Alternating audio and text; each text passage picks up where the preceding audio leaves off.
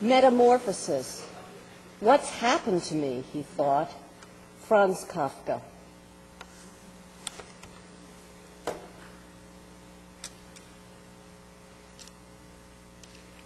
As for myself, wherever there was a street going indifferently about her business, I was the dog. At first, I wept. I became its beatings, shitting on command, bred and bred into more and more of it. I crouched behind its bark, still as a stone axe. I lunged at the greasy picnic on the table of some lawn. I was dog's belonging, dog told me. We were nothing in and of ourselves. We were one fiction abusing another.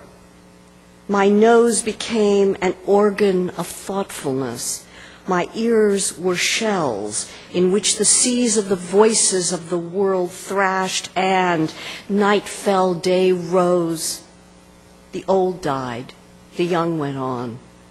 One night I lay down, and in the morning I was dog, and my actions were fetched by orders. Fetch! Lie down. Lie down here. Shaggy mat of thought, intellect swarming on a leash of woofs. I howled at the door of my own mind, wanting out of that empty house. The tide of abstract thought receded. I grew hush and flat, marooned inside the odd blessings of appetite. The voices of the masters perched above us said, You are just a gregarious piece of furniture. The war came and went beyond the bars of my life. I was dog. Then I embraced it. Then I was undone and replaced by it.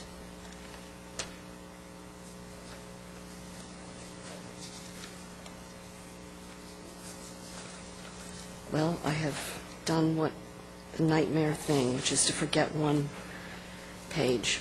Okay. This is from a small play in the middle of my book called The Mongrelogues, and it has a cast of characters uh, that includes dog, a dog in dog's clothing, mistrust, dog's mistress, ah, a book.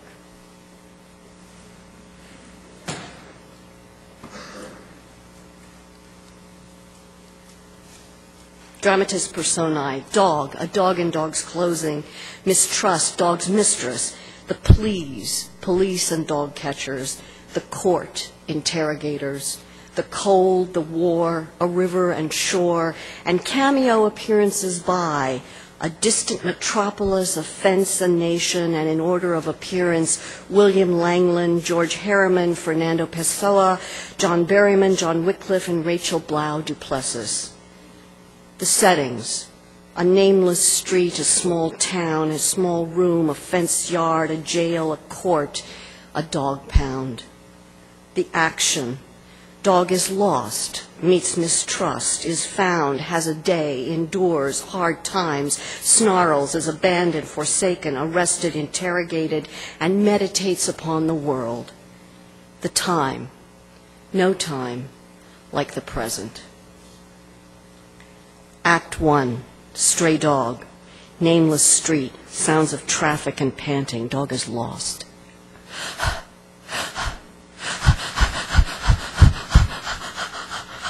I was following a boot down the avenue. The smell of wet meat clung to it. I was leaping over ashes and trashes without a license, running from the pleas with their gas and net and boot. I thought, this is the life.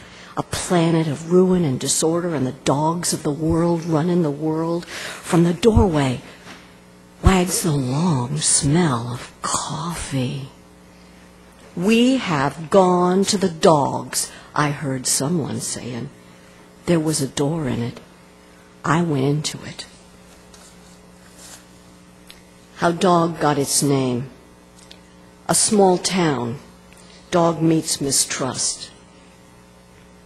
Here in the 21st century, at all-nighter diner, in egg yolk on time, at the edge of some senorita, the lamps of fuggy shine was shinin', and sittin' in a booth she wrote, Life is boring, though we must not say so. Is worse than that, I mumbles, underneath the table, where the pages with alphabets was hanging on to one another and stepping out from underneath those thunders, I ventured, What are you reading and writing about? About you, she said. Well, what am I dubbed? Dog, she said. Better is a live dog than a dead lion. Better is the dog you know than the one you don't, I thought. Interior monologue, dog is found. And yet, an idea wiggles its ruffles at me. Thoughtfulness gropes for me. The nation went to the dogs. What did it matter? I was a dog. And she, she was a leash without a dog. I grew wags, and I looked up at her. Doghouse. Dog has a day. They told me each dog has its door. I walked into this one. I gnaw on the shoes. I, how, I try on the howls. It was raining. It was snowing. Upon the narrow houses, I barked at the undertakers and at the melancholy howl of the freights and at the melancholy howl of the freights. Mistrust. I am weary of the struggle not to be dog as iron filings must weary of the magnet. But now I am dog. I will be dog of the yard, leaping, frantic and dutiful, like a public fountain, like a piston ramming against a housing, leaping. Leaping is my steady job. Tough times. Dog and mistrust endure hard times we is living in medieval and medicated times, I said to her, make the best of it. Get with the program, said I. Which program is that, she wondered. Dogs eating dogs? Dog does not eat dog, is the saying.